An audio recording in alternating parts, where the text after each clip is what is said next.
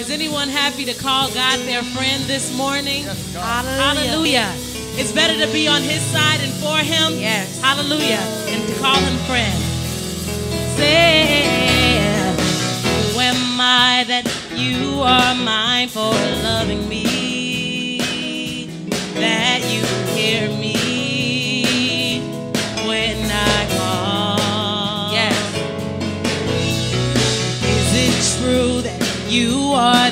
thinking of me.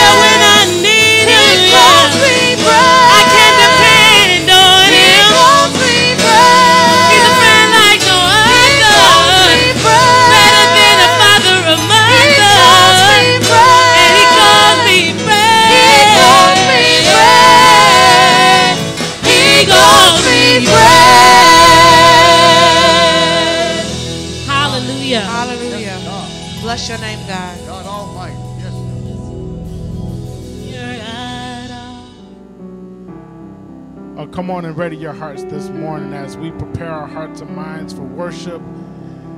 The call to worship is simply that it is calling the saints to gather together for worship. And that's why David said, I was glad when they said unto me, Let us go into the house of the Lord. I don't know about you this morning, but I was so glad when I heard that we were getting ready for worship. And it's time to worship today. And I made this determination in my heart that I will bless the Lord at all times, and his praise shall continually be in my mouth. My soul shall make her boast in the Lord, and the humble will hear thereof and be glad. And so I ask that you would do this favor. Oh, magnify the Lord with me, and let us exalt his name together. Oh, right where you are, stand on your feet. Lift up your, your head and lift up your praise unto God right now. For he is worthy to be praised. You ought to magnify him right there in your living room. Give him glory right there in the kitchen. Praise his name right where you are because he is worthy of all of our praises. Lift up your voices, clap your hands right now, and magnify the Lord because he is truly worthy. Yes, Lord, you are worthy. Hallelujah. We thank you, Lord. We bless your name right now. We magnify you and we lift you up. We give you glory. You are worthy, O Lord. You are worthy, O Lord. You are worthy. You are worthy, O Lord. We magnify you. We lift up our voices unto you today. Lord, we ask that as we come into this place together, that you would allow your spirit to move upon every heart. That they may recognize that you are truly God and there is none like you. For you alone are worthy and truly worthy of all of our praises. Here is your weekly Impact News.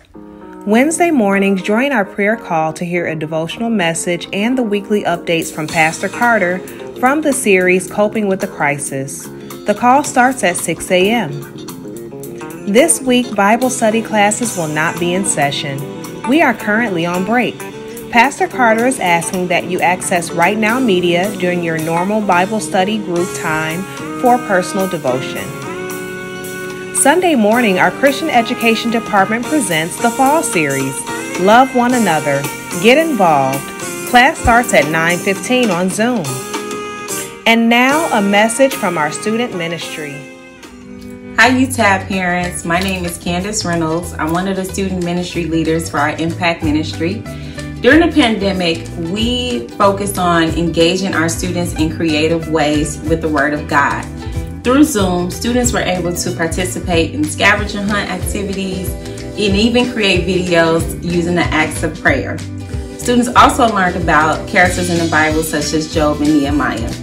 Our main priority is to ensure that we raise up the next generation of young Christian leaders. I'm here today to invite you and your students to get involved in our fall session of Student Impact Ministry Night. Student Impact Ministry will be held October 13th at 6 p.m. via Zoom. It's going to be lit, y'all. Can't wait to see you there. UTAB is online. Visit our website at www.uniontabernacle.org.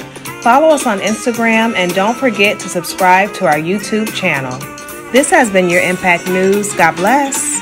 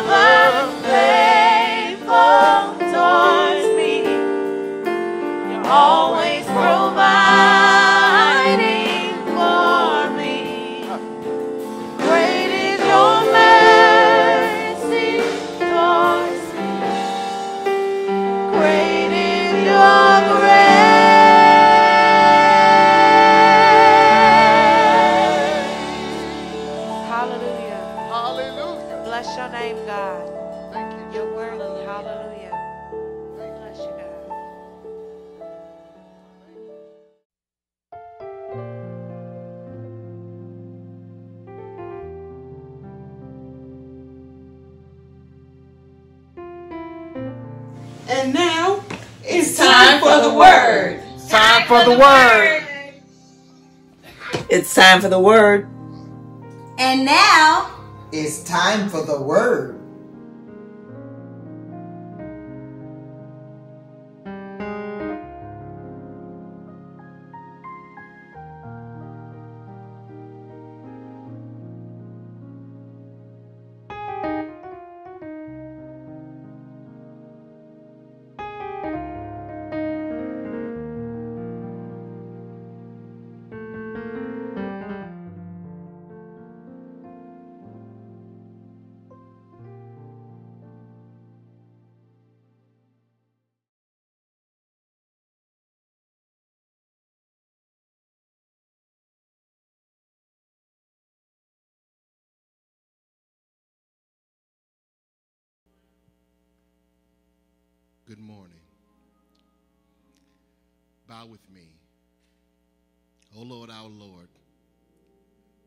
Excellent is your name in all the earth.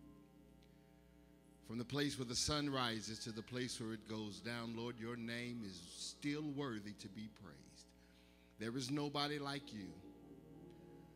Lord, we love you and thank you for this another opportunity to look together into your word. We pray that as we open the scriptures that you will open our understanding. Help us, oh God, to clearly know what your word says, what it means, but most importantly, how it applies to our lives for the living out of these days. Take me out of myself and fill me with your spirit. Stand where I stand. Speak for me so that your people may be helped and healed. Forgive me of my sins. Cleanse me from all unrighteousness. And then use me for your glory and our good as our prayer in Jesus' name. Amen. I will bless the Lord at all times, and his praises shall continually be in my mouth. My soul shall make a boast in the Lord. The humble will hear thereof and be glad. Oh, magnify the Lord with me. Let us exalt his name together. How many people are just glad again to be in worship on another Sunday morning? Listen, I want to tell you that when we were younger, we sing a song that says, I'm glad to be in the service one more time. And the reason why we were glad is because we had a perspective about our ability to be in service. It was that the Lord didn't have to let us live. And listen, if you woke up this morning, even from your home, from your living room, that means you are alive and you ought to just go ahead and stand to your feet. Put your, put your phone down and lift your hands up and give God praise because he didn't have to let you live. He's been good. He's been great. He has been kind. Listen, as we begin to look at the word this morning, I was taken a bit back by the news of the exoneration of those men who senselessly murdered Breonna Taylor. And where we were in our sermon series did not match what our heart needs to say at a time like this. We're experiencing so much in our day. It's important that as pastor we keep our ear and our heart bent towards what the Lord is saying to us weekly. And so the Lord led us to a rather familiar passage of scripture. You've heard me preach many times before, and I think it fits with our emotions and all that is a, that we are experiencing uh, in our world today. Psalm chapter 3. The psalm attributed to David when he fled from Absalom, his son. Psalm chapter 3, there in the reading of the word of God is this a psalm of David when he fled from Absalom, his son. O Lord, how many are my foes? Many are rising against me. Many are saying of my soul, there is no salvation for God, for him in God. But you, O Lord, are a shield about me, my glory and the lifter of my head. I cried aloud to the Lord, and he answered me from his holy hill. I lay down and slept. I woke again, for the Lord sustained me. I will not be afraid of the many thousands of people who have set themselves against me all around. Arise, O Lord, save me. O my God, for you strike all my enemies on the cheek, you break the teeth of the wicked. Salvation belongs to the Lord. Your blessing be on your people. As you take your seats right in your homes, I want to label the message for the time that we have to share this morning the advantages of adversity. The advantages of adversity. How can we take advantage of the adversities in which we now live? When I saw the news this week and saw that those officers who broke into the wrong house and ultimately killed an innocent person in their own home, in their own bed, my heart was gripped to disturbing. I got to tell you that I turned the TV off and I almost screamed out loud in my home because I'm just tired of it being okay to mistreat colored or black people. I think that it's important for us in this day and in this time to really look at what's happening around us and see that there are some ways in which we can benefit from all of the burdens that we are dealing with. I mean, we are dealing with a three headed monster, a pandemic on the loose. The police are killing more people than they are protecting. And then we have the world of politics, which I don't have sermon time to waste on all that we experience in the political arena. But let me tell you that there are some advantages to the adverse situations that are on the rise. This pandemic has closed the doors of our building, but I thank God it has opened the doors to our ability to spread the gospel nationally and internationally. I'm sad that it took a pandemic for the church to break down its walls and reach to the world that needs to know, but isn't it just like God? To allow an adverse situation to push you to the point where you have to do things His way. Sometimes life is just hard. I wish that we would not market God or church or salvation in a way that tells people that if you come to Jesus and join the church, everything is going to be all right. And I want to say that it is going to be all right, but we can't market it in that way because the truth is sometimes situations get worse before they get better sometimes there are moments where God pushes us to the brink of giving up and wanting to throw in the towel, not knowing how we're going to make it until we discover that He is the one who is able to deliver you in and through everything that you face. Listen, David knows, the writer of this text knows all too important what it's like to face adverse situations. You see, the contextual background to this passage can be found in uh, 2 Samuel chapters 15 and 16. There you will find David's family is going through a bit of dysfunction. You see, David found himself smack dab in the middle of the justice of God. David is reaping the seeds that he his sins have sown when he slept with Bathsheba, got her pregnant and had her husband killed. It's been years now since the baby has died, the husband has been buried, and his son Absalom rapes his daughter Tamar who told her brother Absalom, who then kills Amnon. Listen, David's family is doing exactly what the scriptures suggest because of his sin that there will be trouble at his own house.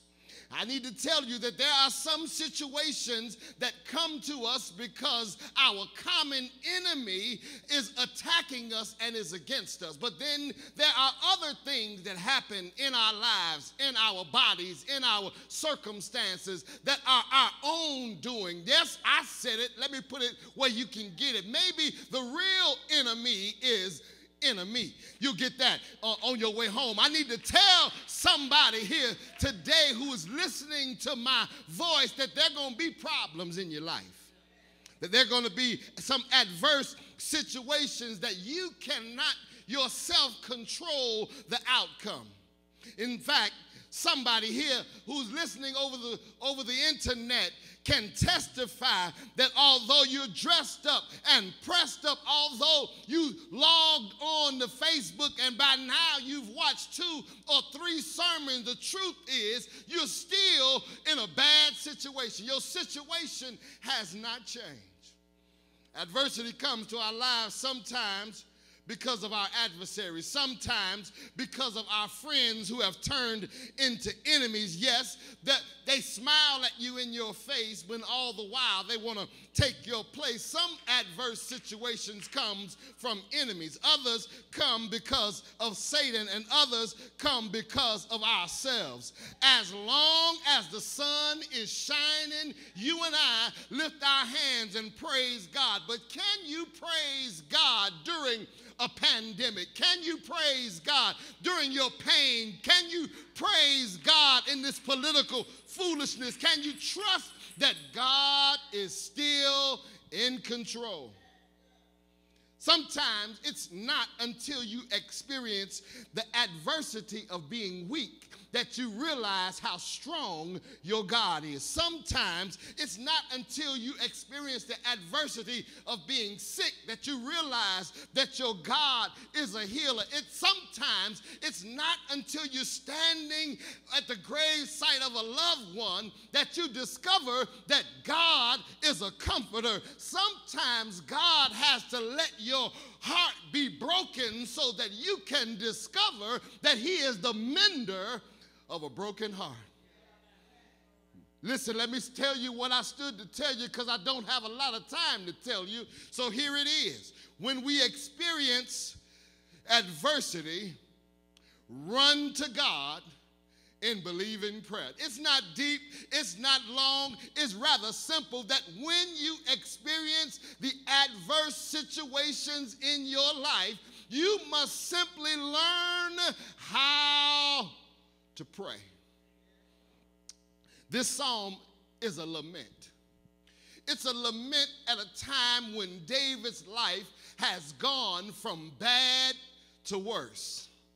David, in the midst of a bad situation, has been run out of town by his own son, who has convinced his closest counselors to turn against him. His smooth words and good looks have caused David to be run from the throne, and they shout these insults at King David as he leaves the throne. He leaves his home at the hand of a family member. What do you do when your situation goes from bad to worse? How do you handle life when you are doing what God told you to do and still God allows difficulty to take advantage of you. Listen, I want to tell you that you got to learn how to take those adversities and turn them into advantages. The, number one, if you're taking notes, first of all, verses one and two will tell you that you got to admit your troubles to God.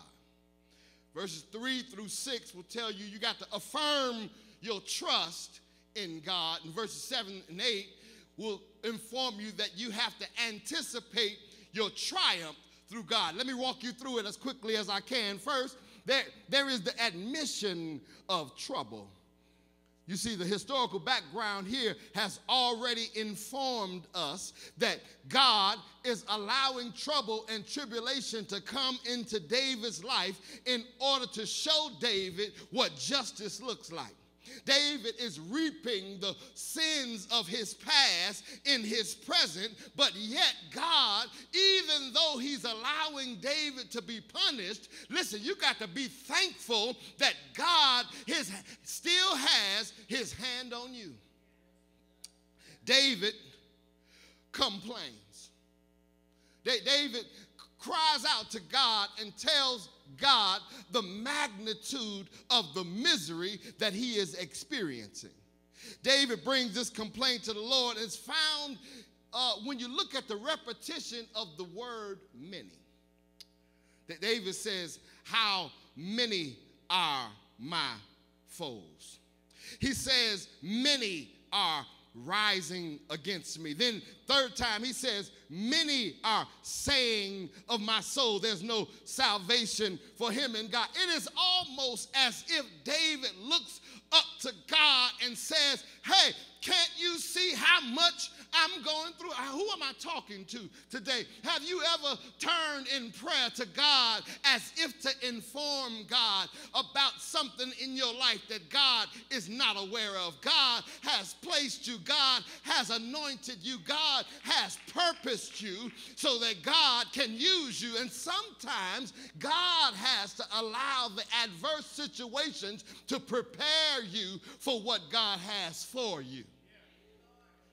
God- sometimes will allow adversity to come into your life so that you can come to Him. So, you know what happens with us? When everything is going a okay, when money is, is good and jobs is well and health is fine and family is growing, we don't we ain't thinking about God. As long as we got our nice car in our nice house in our uh, in our nice suburb, our children are protected and educated. We've done the best that we can to, to accomplish what seems to be the American dream. It's not until God allows your comfortable life to be interrupted by adversity that you turn to God and pray.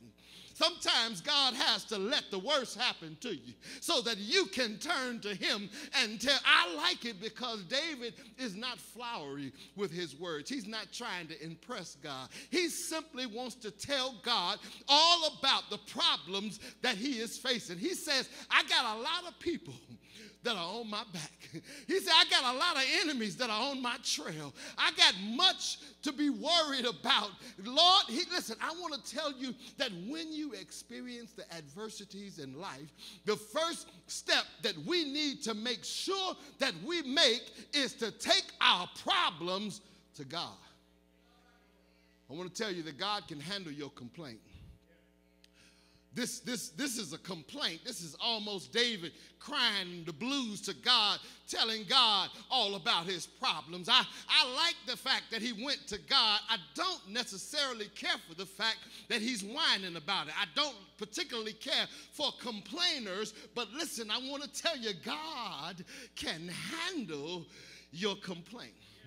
God can handle you being real and honest and open with Him and telling Him, Lord, I've done the best that I can. I still got enemies on my trail. I still got problems in my family. But, but David tells God about his problems so that he can point quickly to God's solution to those problems. I'm sure you've been there. You may not be facing these imminent military attacks that David was experiencing, but all of us know what it's like to have an enemy on your trail. All of us knows what it's like to have weapons and, and, and bullets uh, flying at you. Maybe not uh, physical bullets, but, but maybe spiritual darts the enemy is throwing at you. You- All of us know what it's like to be up against overwhelming opposition. You got to learn that God, hear it, can handle your problem. That, that- that- no matter how big or how small that problem may seem to be, God, God can handle it. Uh, Elijah Hoffman was a pastor who was counseling a member. And this member told him all of the long list of problems that she was dealing with. And after pausing for a brief moment, Pastor Hoffman looked at the woman and said, uh, With all you're going through, you, you need to simply tell Jesus. To his, to his surprise, the woman's face lit up. She smiled and, and she jumped up with a big, with, with a big bright-eyed look on her face and say, You're right, Pastor. That's it. I must tell Jesus. She, she repeated it over and over again. I must tell Jesus. I must tell Jesus. Elijah Hoffman, remembering those words, went home from his study that night and penned the words to the most famous hymn that we know I must tell Jesus. I cannot bear these burdens alone. In my distress, He kindly will help me. He ever loves and cares for His own. Listen, I want to tell you right now you can tell Jesus when you can't tell your pastor. You can tell Jesus when you can't tell your parents. You can tell Jesus when you can't tell your friends. You can tell Jesus when Facebook shuts down and Twitter won't work and Instagram is unavailable. I got to tell you that you can go to God in prayer. That, that's what you got to do. You got to tell Jesus all about it. But secondly, not only should you uh, admit your troubles, take your complaints to God, He can handle it, but, but you got to affirm your trust. David, David's enemies are all around him. And they say, listen to what they say. This is the emphasis here in verse number three. There is no help for him in God. Hmm. Lord have mercy. I don't know how you feel about that, but that's the worst thing that anybody could say about you is that not even God can help him. Not even God can help her.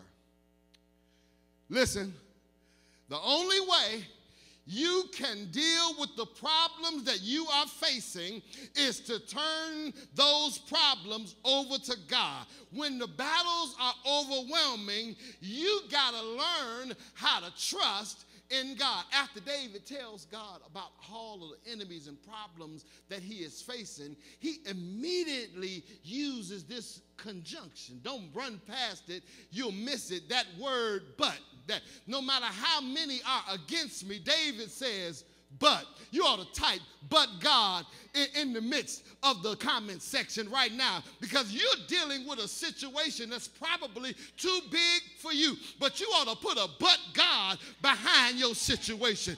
David says, But you, O Lord, are a shield for me, my glory and the lifter of my head. David knew that God knew God and he appealed to him under his covenantal name, Lord, Yahweh, Jehovah, the God who keeps his word, the God of the covenant. David's assurance was based on the word of God, not on his own circumstances, not on his feelings. Listen, when you pray, you ought to pray with God's promises in your mouth because the word of God will accomplish everything that is set forth to accomplish. There is nothing that God will withhold from those who love him. I want to tell you that when you pray, you got to learn how to trust. Listen, let me tell you how David expresses his trust. He uses this, this word shield. He says, But you, O Lord, are a shield around me. David, in this text, tells God, I'm surrounded by my enemies, but you are a shield around me. Don't run past it, you'll miss the shout. David says, I got enemies all around. But God has gotten in between me and my enemies. I don't know how that makes you feel, but I don't care who surrounds me and God. As long as me and God is together, everything is going to be all right. He says, God, you are my protection. Ah, Psalm 18, 2 says it better than I could. The Lord is my rock and my fortress, my deliverer, my God, my rock in whom I take refuge, my shield and the horn of my salvation, my stronghold. Psalm 28 and 7 says, The Lord is my strength and my shield. In him my heart trusts, and I am helped. My heart exalts with the song I give thanks to him. Psalm 119, Lord, help me get through this quickly as I can. Verse 114 says, You are my hiding place and my shield. I hope in your word. Listen, the problem with us is that we are blinded by the presence of enemies who are surrounding us. But you need to take your eyes off your enemy and put your eyes on your protector. But, but not only is God his protector, that David affirms that he trusts that God is his provider. That, secondly, David says that God was his glory. This is the Old Testament word used to refer to the glory of God. Literally, it means dignity, honor. David says that even though my enemies are, are trying to embarrass me and dishonor me, God is my dignity. God is my provision. His victory, His glory. The, the word glory here in Hebrew meaning heavy or weight. When soldiers went out to battle, they were said to be light. After securing victory, they would come home with the spoils of war, meaning they would be able to take possession of that which their enemies had in their hand. And when they returned, they would not be light, but they would be heavy. They would be victorious. The, the heaviness of the bag that they carried home from battle was evidence that they had secured necessary victory. And David says, God has provided for me a heavy bag. He has given me a heavy victory. God, he says that God has protected me and God has provided for me. But then he goes on to say he is the lifter, lifter of my of my head. Even though my sins and my enemies are beating me down, God is still able to lift me up.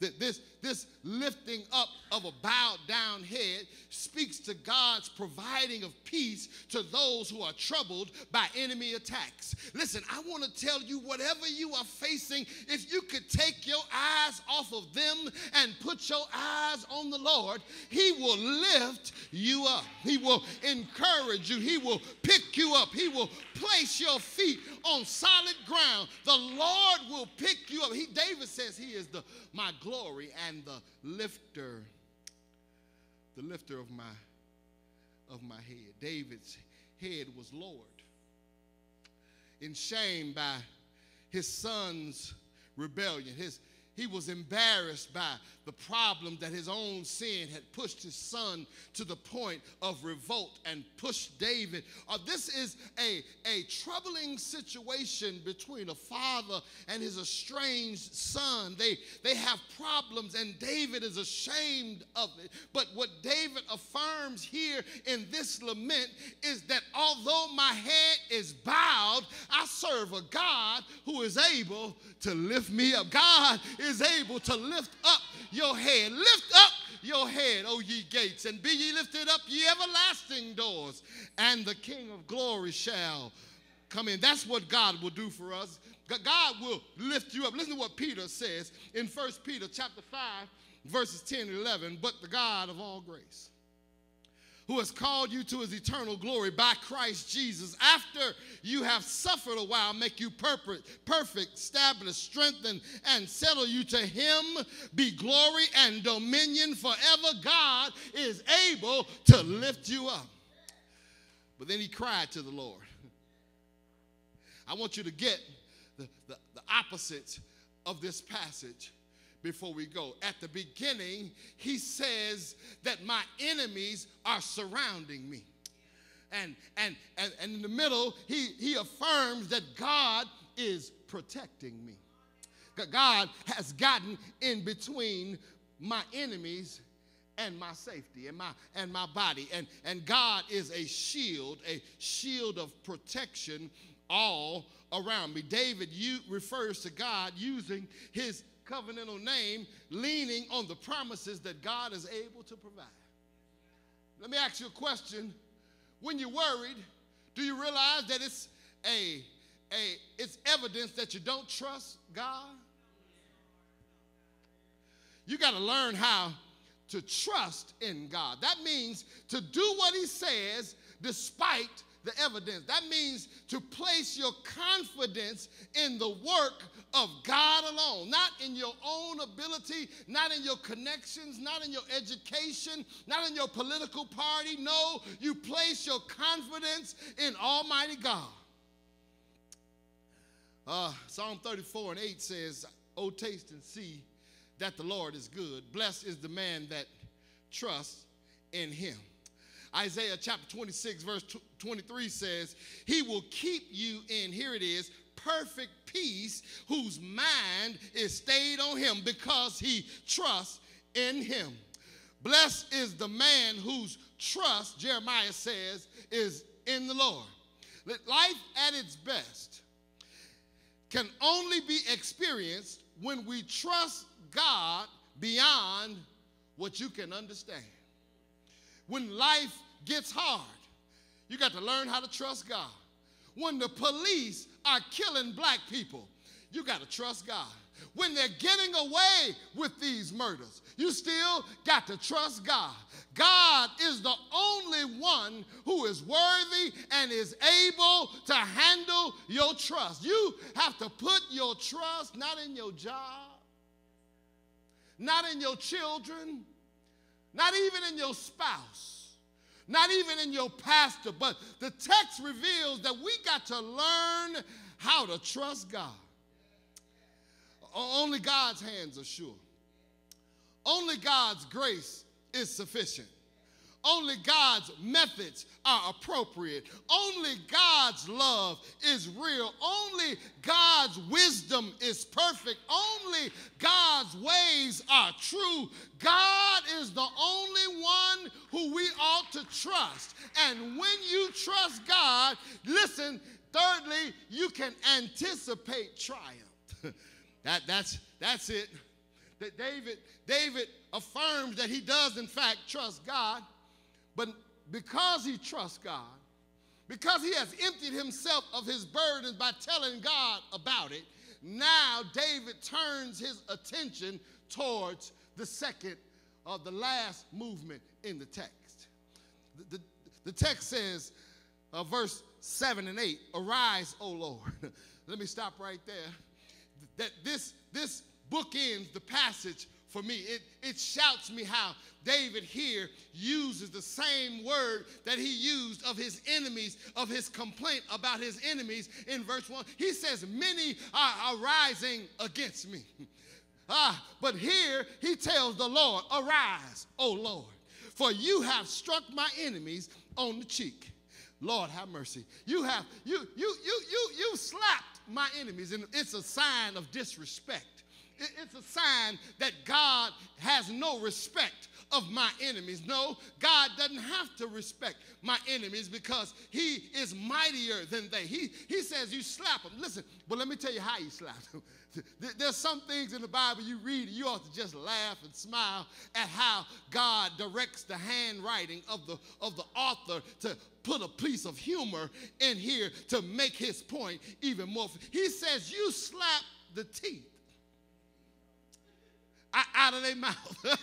that's, that's what my mother used to say when we walk away from her mumbling after she's given us some kind of directive.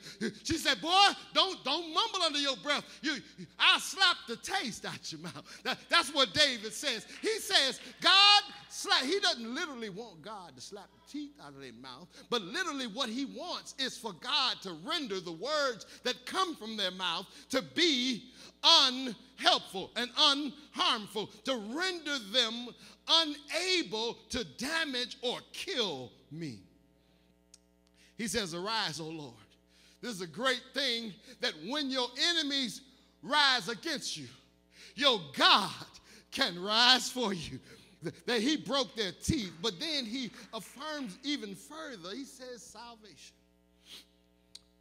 belongs to the Lord. I'm almost finished now. That David understood that salvation, both in the ultimate and in the immediate sense, was God's business. That David understood that if I'm going to get out of this, it's going to be because salvation comes from whom I am praying to. David understood that if he was going to get out of it, it was going to be because God got in it with him. He says, It is the property of any one nation or sect, but of the Lord God. He wants to affirm the fact that God has an obligation to save his own people. Your blessing, he says, is upon your people. Let me let me pause here and digress for a minute. This is a morning psalm. That this is a psalm in which David woke in the morning and remembered or recalled the day before and how God had delivered him before, and he was able to sleep in the midst of this calamity. David has enemies looking for him, and they're trying to kill him. They're not trying to just run him out of town, they want to run him out of life. And David, listen, goes to sleep. He trusts and anticipates victory so much so that he, he is able to lay down and sleep. That, that, that, that blesses me.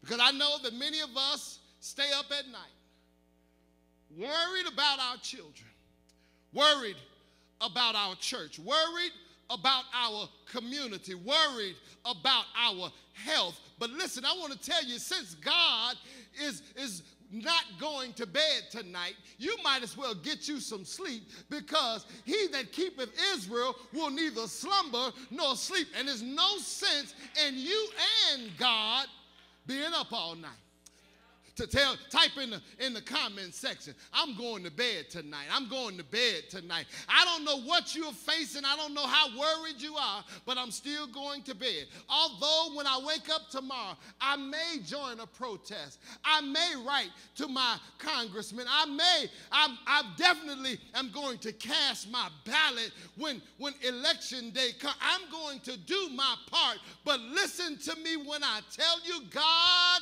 is going to bring deliverance. Yes, he is. Y'all ain't happy enough about that, but but I, I close.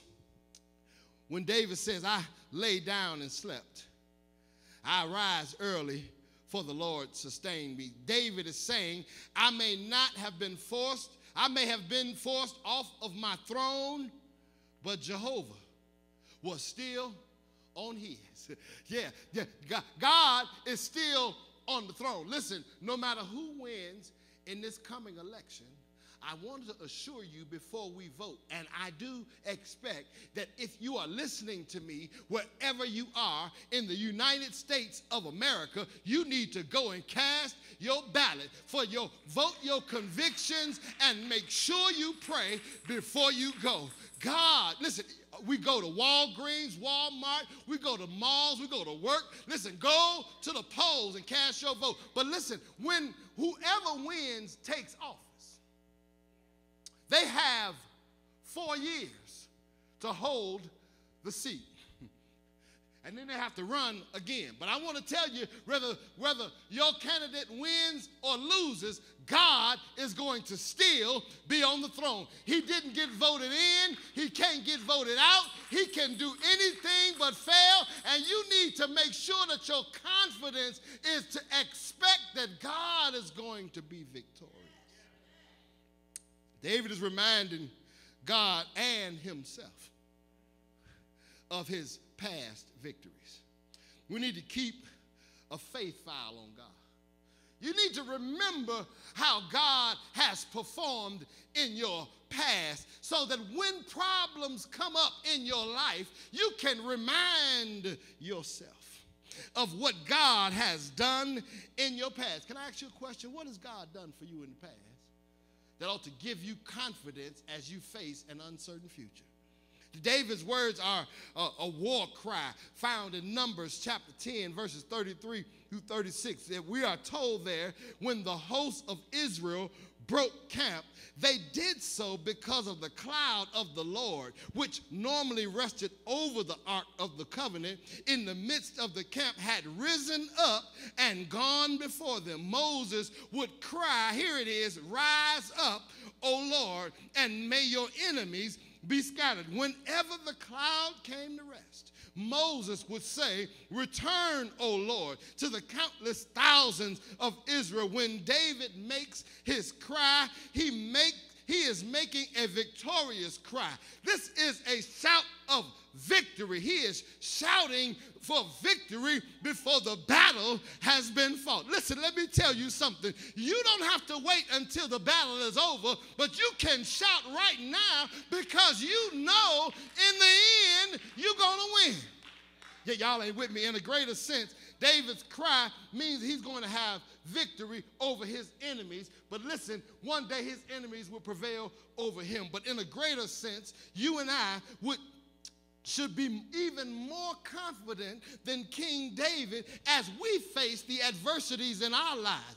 David expresses that salvation belongs to the Lord because he knew that God had promised that he would anoint another king and establish his throne forever. And he understood that his son's presence, although temporary, on the throne was not God uh, endorsed. And David understood that God doesn't make promises that he cannot keep. He would establish his throne, and this was the plan of God. David knew that God would defeat his enemies, and our greatest enemy, we can be assured God will ultimately defeat him because on the cross of Calvary, the, the enemy of our souls, Satan, thought that he had God beat. He, he put Je- they put Jesus on the cross, and can't you see Satan thinking that his victor, his greatest uh, enemy, had been defeated? But early on Sunday morning, he got up with all power and all authority in the palm of his hand. And when we get to heaven, oh, there's going to come a day that although Satan may look like he's winning right now, there's going to come a day when Satan will have to do this. Go to hell. I wish I had somebody in here who could testify that you need to tell the devil, go to hell. It's all right. Type it in the comment section. It's in your Bible, right around Revelations chapter 12. You can tell the devil that there's going to come a day when he's going to go to hell. And you're going to be able to sing the wondrous love of Jesus, sing of his mercy and his grace. When those bright and blessed, he's prepared for us a place when we all get to heaven. What a day of rejoicing that will be when we all see Jesus. We will sing, we will shout the victory. Victory is mine. Victory is mine. I told Satan to get thee behind because victory, I said victory today, today, it might not look like it. It might not feel like it. It may look like your enemies are winning on every side, but God is still able to heal your body. God is still able to save your soul. I said, God is still able to fix your finances.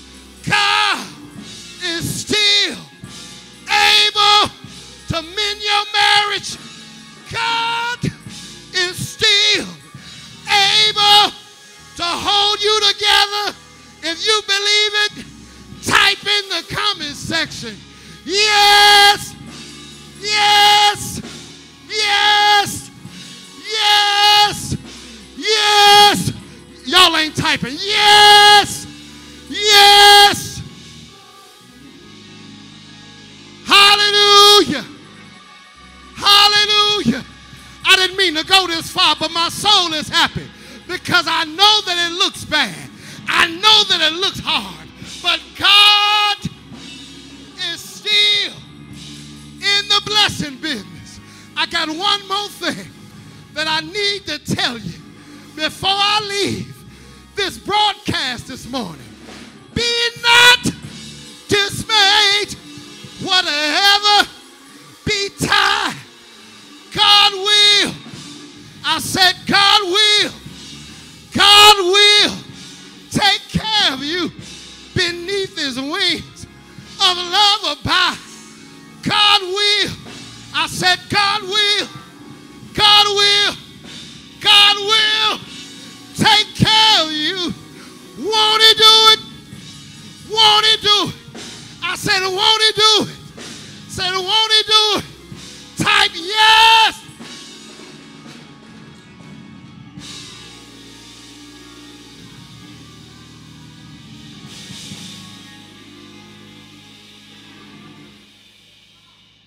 Hallelujah. David looked forward with great anticipation to a day when he would be put back on his throne. Oh, but I look forward with great anticipation to the one day when I'll see Jesus reigning on his throne forever and ever and ever and ever. Listen, this text is close, near and dear to my heart because probably like you, I've, my life has seen its share of adversities. I've had some difficult days and miserable nights. But the Lord has kept me. I was able to admit to God what I was going through. That's what I want you to do tonight before you go to bed. Tell God what you're facing. And then I want you to trust God and go on and go to sleep. Because you can anticipate that God is going to give his people the victory. Listen, if you are unsaved and you're listening to me today, I want to make sure that you don't log off or scroll past before you take this invitation very seriously. That here in this text, it reveals the steps to salvation. If you're careful, you can that you got to first of all admit that you need God. You, you got to affirm that it's God that you trust. And then you got to commit to God in the midst of it for salvation. You see, salvation belongs to the Lord and his blessing. You can be one of his people who receive his blessing. If you do what the Bible says, confess with your mouth the Lord Jesus and believe in your heart that God has raised his son from the grave, you can be saved.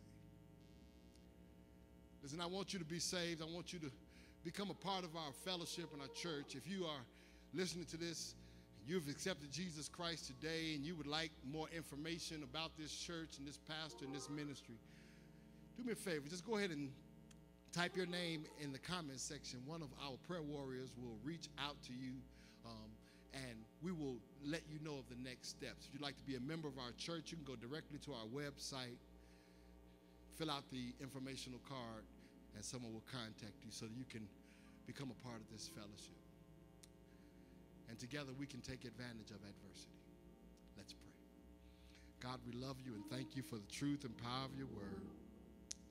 Pray that even right now, someone's mood was shifted, their attitude was shifted towards you, their, their prayers are shifted towards you.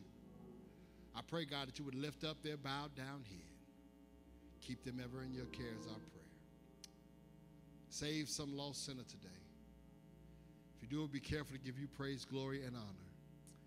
In Jesus' name, amen. God bless you. Thank you so much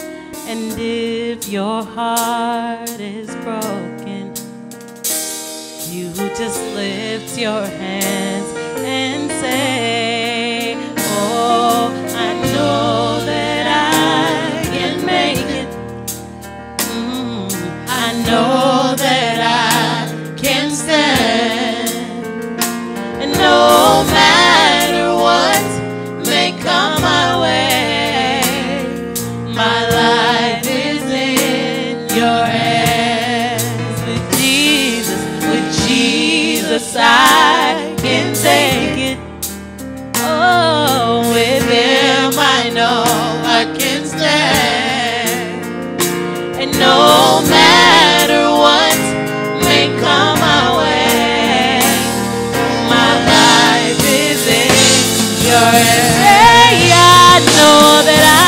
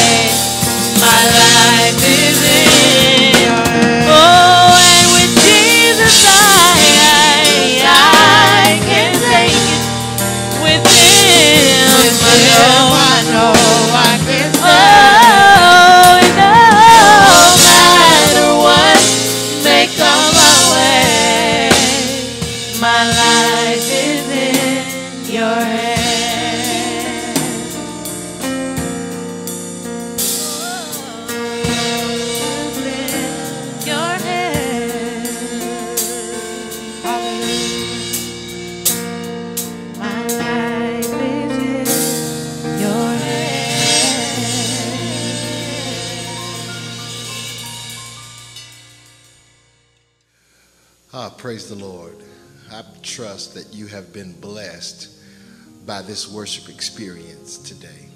I certainly was. It is my prayer that even as you were blessed, that you gave consideration to what God perhaps is leading you to do in your life. If the Lord has spoken to you and you would like to give your life to Jesus Christ, the Bible says if you confess with your mouth the Lord Jesus and believe in your heart that God has raised his son from the grave, you can be saved. And we certainly offer Christ to you this day. Because the greatest thing that God has ever done for any of us is he sent his only son to die for our sins. And all you have to do is accept him as your Savior and Lord, and you can be saved and be entitled to eternal life as we are. Or perhaps you are saved and just looking for a church home to connect with. We here at Union Tabernacle are endeavoring to impact the church inside and out and the community with cross centered ministry. If you'd like to join with us as we attempt to impact the world through Jesus Christ, all you have to do is go to our church's website and fill out a membership form. And we would love to contact you and bring you in in order to get you acclimated and, and go through orientation for membership into this wonderful fellowship of believers. Either way, we pray that you would join with us again on next Sunday as we look to continue this wonderful sermon series. Additionally, I want to remind those of you who are members of this church already of our obligations and commitments to give consistently, sacrificially, and regularly. I pray um, that you will pay your tithe. You can do so through the Givelify application. You can go to our website and click on the Give tab also and give through um, PayPal. Or you can mail your gifts here to the church directly at 6623 South Stewart, Chicago, Illinois 60621. We would love to hear from you. If you'd like to email us, instant message us, and let us know how you've enjoyed these services or what we might perhaps could do for you or your family during these times, we'd love to hear from you. In the meantime, we'll be praying for you, and we love you, and we'll see you next week. God bless.